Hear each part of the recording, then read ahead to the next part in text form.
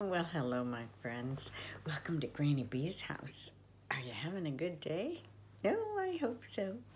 Granny Bee's having a pretty good day. Are you remembering to be kind to those people around you? Are you treating other people the way you'd like to be treated? Are you doing little things every day to make the world a better place? Well, even if you're little, you can do little things to make the world a better place. Don't ever forget that. Every act of kindness counts.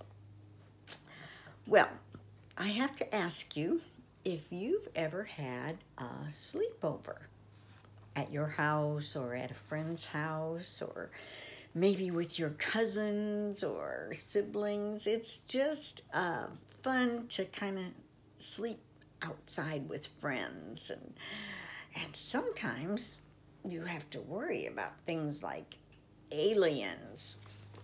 That's what Arthur's worried about. This is Arthur's first sleepover, written by Marc Brown. And you know, his little sister, DW, can be a bit of a problem in Arthur's life. So let's just see what Arthur and his friends are up to with this sleepover. Arthur was getting ready for his first sleepover. It isn't until Saturday, called Mother. Come in and eat your breakfast. Father laughed while he read the paper. Some man in town says he saw a spaceship, he chuckled.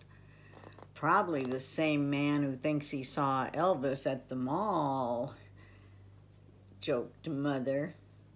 I don't believe in aliens, said Arthur. Well, the National Requirer does, said DW, and they pay a lot of money for a picture of one. Whoa. On the way to school, the girls were all talking about the spaceship. Arthur wanted to talk about his sleepover. We can have the sleepover in my tent, said Arthur. You wouldn't catch me out in a tent with these spaceships landing, said Muffy. Bad news, said Buster. My mom thinks I'm too young for a sleepover. I can't come. But you have to, said Arthur. It's my first sleepover and you're my best friend. Why do they call them sleepovers, said Francine. No one ever sleeps. That afternoon, Arthur told his mother about Buster's problem. Well, I'll see what I can do, said Mother. Arthur crossed his fingers while she dialed. Buster's mom did all the talking. Yes, no, of course not, said Mother. Absolutely. Good talking with you too. Bye. Mother smiled and nodded her head yes.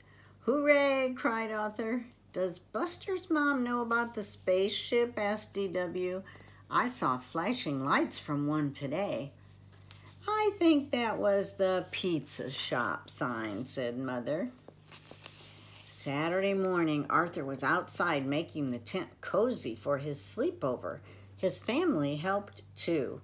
I was just thinking, said DW, how do we know you're our real parents and not aliens in their bodies?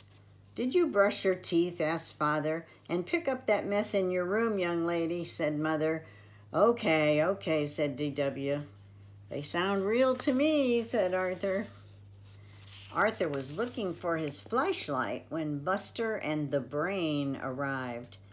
It was here a minute ago, said Arthur. I wonder if you'll see any aliens, said DW. If we do, said the Brain, how will we communicate with them? Forget about communicating, said DW. Take pictures for the National Requirer. Use my camera. We can split the money. Let's make some signs, said Arthur. Good idea, said Buster. But first, I have to call my mom. Look what DW has. I think she has Arthur's flashlight. Oh, the signs say, aliens welcome, we are your friends. Please do my homework. After they finished their signs, they unpacked. I brought a few snacks, said the brain. I brought a rubber snake, said Arthur, to keep DW away. What did you bring, Buster? Just my baseball cards and my blankie.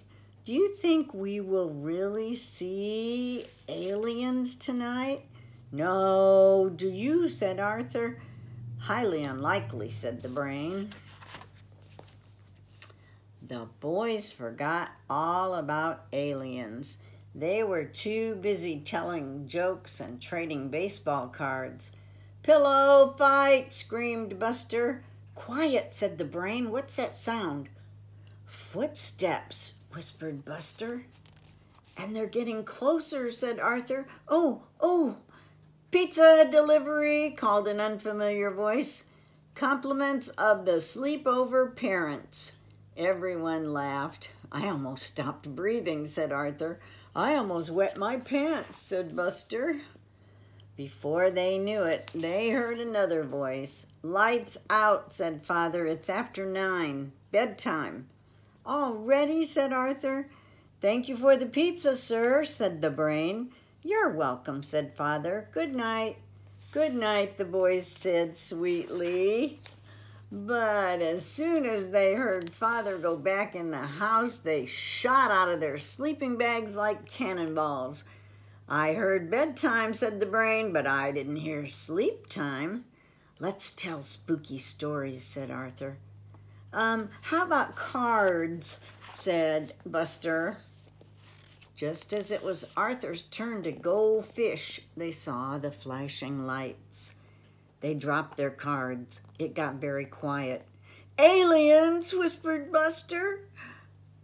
I don't hear any footsteps, whispered Arthur. Of course not, said the brain. They haven't landed yet. Lights flashed again. They're headed for our tent. Run for your lives. No one could find the flaps. Help, screamed Buster. Let me out. The tent collapsed. That didn't stop them from making a run for it, but a large maple tree did. Ouch, said Arthur. I'm calling my mom, said Buster. Look, said the brain. The lights are coming from your house. I think I know this alien, said Arthur. It's from the planet DW. Arthur noticed the things they used to make signs, and that gave him an idea. Let's put our tent back up. I think I know a way we can teach that little space creature a lesson. Later, Arthur crept quietly into the house. D.W. was in her room laughing. What's so funny? he asked. What are you doing up here? said D.W. Did you come in because you're scared? Not really, said Arthur. I'm returning your camera. You'll probably see an alien before we will. I doubt it, said D.W. Well, just in case, Arthur said. Sweet dreams. Then very quietly he returned to his tent. Oh my! A minute later, D.W. heard a tap at her window. Aliens! She screamed. She screamed so loud it woke up everyone in the neighborhood. Everyone except Buster, the Brain, and Arthur. When Mother and Father went out to check, the boys were sleeping like little angels. Of course, after Mother and Father went back into the house, it was another story. well, what a fun sleepover.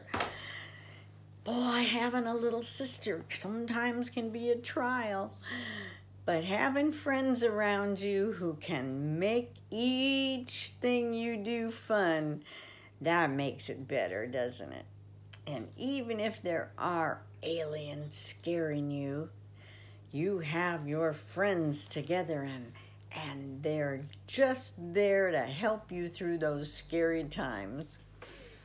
Well, you know, Granny Bee's not very scary. Nah, I'm just, I'm just an old lady in a bumblebee costume. And you know Granny Bee loves you, and I want you to come back and see me again sometime, okay? Because I want to read you another story. Bye-bye.